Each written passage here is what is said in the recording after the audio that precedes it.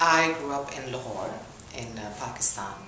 And I have to say that you know as we get older you keep kind of looking back at your memories of you know because I'm inhabiting two different countries at this point. And I have to say I had a superb childhood. Because Lahore was a very very culturally aware city.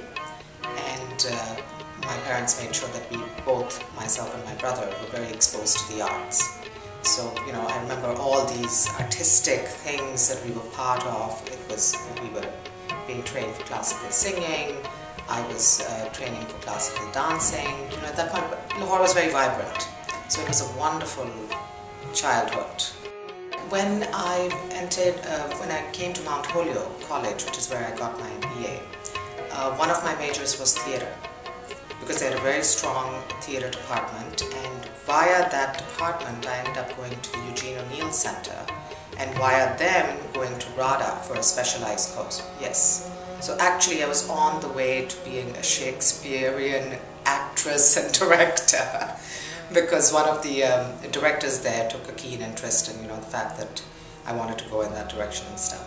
So there was definitely there was a lot of training involved it wasn't that, you know, uh, I wasn't doing it as a fly-by-night kind of operation. This was my major. Theatre was a major. It's just that on the side, on the other hand, I was also doing a major in religion.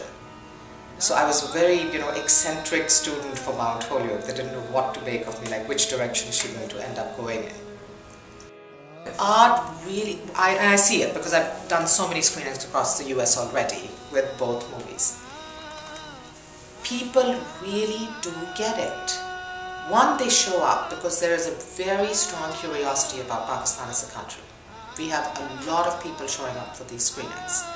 I have seen the effectiveness of creating dialogue on the community level, on the local community level. I'm not talking about being in the New York Times or being on CNN, okay? That's actually not that effective. But when I go to smaller, you know, uh, like I've gone to the Davenport area a lot. They've shown both my films and everything. And every time I'll be on the local radio, there'll be a, you know, in their main paper, they'll do an interview with me. There's incredible amounts of interest and there's incredible amounts of support. And it's very important for us to maintain that dialogue on the very grassroots local community level. The director, um, Nasir, the director of this uh, documentary, it all started through a conversation that you know a couple of us were having when the Newsweek article came out declaring Pakistan three, four years ago the most dangerous country in the world.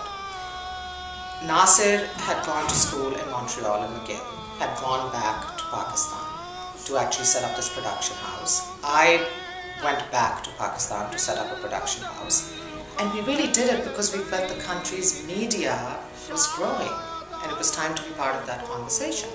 And suddenly, somewhere, you know, 10,000 miles away, somebody's declaring that this is the most dangerous country in the world.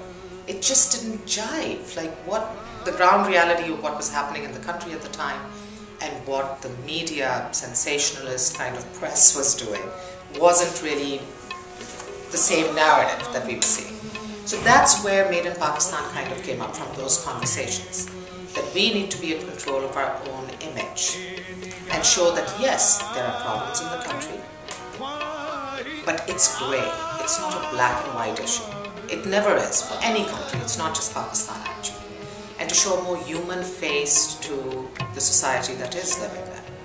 So from that conversation is how, you know, the idea of let's follow four people and see what happens. Because then we're not we're not creating propaganda. We are just for, it's like a, the way Made in Pakistan set up is like a reality TV show, right? You're following four people, anything can happen. We were very sure of our intent from the casting perspective um, that we wanted young working professionals because I think that's an image that is just not out there in the press anywhere in the world about Pakistan. It's always a very narrow, constrained image of bearded, you know, Taliban-looking people and stuff. And they don't understand we have a huge rising middle class in Pakistan. So that was one of the ideas. Then we wanted a balance between men and women, which is why there's two women and two men. the other thing that I wanted to emphasize is, which I find remarkable in the last 15 years in Pakistan, is the rise of women entrepreneurs. It's remarkable. When I was growing up in Pakistan, you had three options. You could be a teacher, a doctor, or a lawyer. Or maybe an engineer also, okay, as a woman. These were like the only options open. Now I go back and what is fascinating is that every woman I know, who's whether she's gone abroad to study or whether she studied in Pakistan, is involved in business of some sort, which is what these two, you know, Tara is a PR agency. She started that. That's very new for Pakistan. Um, and the other one, magazine, is incredible. It's the first free magazine for young people between the ages of 18 to 35. And it's political, it's got great articles, and they've done a great job of it. So that was the idea, to show the entrepreneurial kind of side that is arising in Pakistan from the women's angle. And we really wanted something from, you know, somebody from politics, somebody young who's wanting to go into the system. And that's what, um, god, I've seen it so many times. But that was the idea, that we want somebody from the political establishment side. And Waleed, um, surprisingly enough, and I had to really eat my words here, I was the most nervous about. Because Waleed is a very conservative Muslim, and I didn't, and he's bearded, and I didn't want to reinforce stereotypes. However, this is where I say that I have to eat my words because at this point, I think in the documentary, everybody has one character that they love. Art has a way of creating dialogue that I think cannot be done in any other way. It really is an incredible place to be able to exchange ideas. So I'm hoping that you know, we are always constantly fighting for the arts in this country because this is, it, it just has a way of creating dialogue between communities.